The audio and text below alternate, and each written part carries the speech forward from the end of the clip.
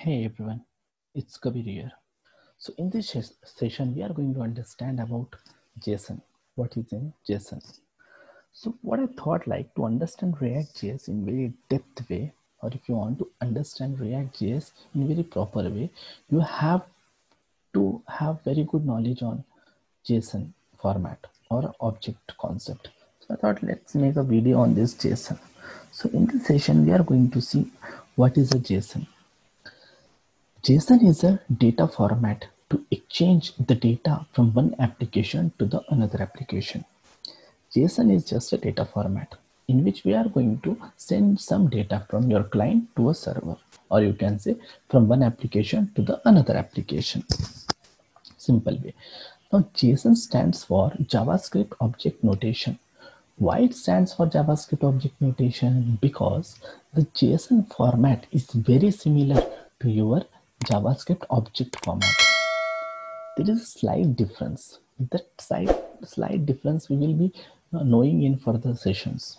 So as of now, just remember it is very similar to your JavaScript object. That's why it is called as JavaScript object notation. Now we understood that okay, JSON is a data format to exchange the data from one application to another application or from one or if I want to send any data from client to the server, I'm using the JSON. So what are the benefits of the JSON? The first benefit of the JSON is JSON is very easy to read and write. As a developer, if you see a JSON object, you can easily understand what this information meant to. So it is very easy to reading, you can easily write it. The first thing. Second thing, it is very easy for applications to parse and to generate the data. That's the second benefit we have. And the most important benefit of JSON is it's a language independent. What do you mean by language independent? Any language or any technology can understand the JSON format. That's why you can send a data from one application which is built in one technology to the another application which is built in some different technology. For example, I have an application which is written in the Java. I have one more, one more application which is written in, written in the JavaScript. Now I want to exchange the data from Java to JavaScript or I want to send the data from JavaScript to Java. So using the JSON format, I can change. Using the JSON format, I can send the data from one application to the another application. That's the best benefit that we have with the JSON format. Now let us see how to define a JSON object. For that, let us practically, I'm gonna show how, how can we define the JSON object. So let us think we want to represent an employee.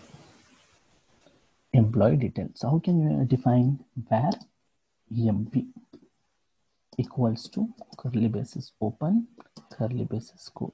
This is how we declare an object. Here emp represent the name of that object. Like I want to represent the data of an employee. So I am giving the object name as emp var indicates the data type we the data that we have in this object. Okay. Any of the data will be the object format. Now, whatever data I want to represent, that should be represented within this curly braces.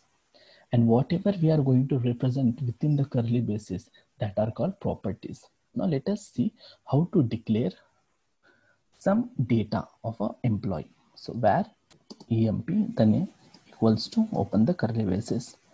Now, I want to declare the data like what parameters we can take of employee let us consider id id of an employee okay id should be id it's like a key so any property that you want to define in json it should be in the format of key and value so here i want to represent employee id so for that purpose i required one key so i took id as a key now value represent the actual data of that employee.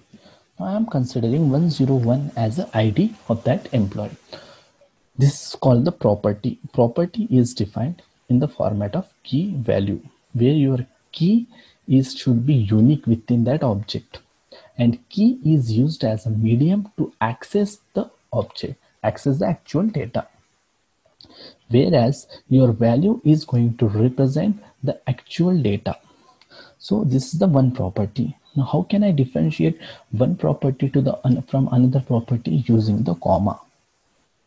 Then now let us uh, declare the name of that employee. For that I require one key. So I am taking name. Okay. Now how can I differentiate a key and a value using colon notation? Now the name of the person, let's take a Kabir. Done. Right? Now I want to take one more property as a location. So how can I take I, I require a key to represent that location. So I am taking LOC as a key. Done. Now I want to represent actual data. So he is from the Mumbai. Just consider. So how can we differentiate a key and a value using the colon? So take a colon. It's like Mumbai. And close your curly braces. Now this is what we represent actual JSON object or a JavaScript object. See what one difference I can say about JSON and JavaScript object is in JSON object key must be string. It's a mandatory rule that key must be string. Whereas in JavaScript, it's not compulsory that key should be string. It can be any type of data. Okay? Data type, I mean to say. So this is one thing you have to represent. So let us summarize what we have understood in this session, right? What is what is JSON? JSON is a data format which is used to exchange the data from client to server. And data JSON is very easy to understand and it's very easy for application to parse and generate. That's the two things you have to understand and why it is called javascript object notation because its syntax is very similar to your javascript one how can we define any json var person curly braces open and curly braces close then now i have gave an example of that employee but here i took the example of a person a person has his name value is like kabir okay one more property key as a location and value is a Pune. And one more like phone, key as a phone and the value is something. So it represent the information of a person. And what I told, whatever present in this curly braces are called properties. How can you differentiate one property to the another property using comma notation? And how can you represent a property within key value pair? And how can you differentiate key and value using the colon. So this is the concept of JSON. This is the theory part. In next session, we will be seeing the practical. We will be seeing some CRUD oper operations on this particular JSON. So thank you for this.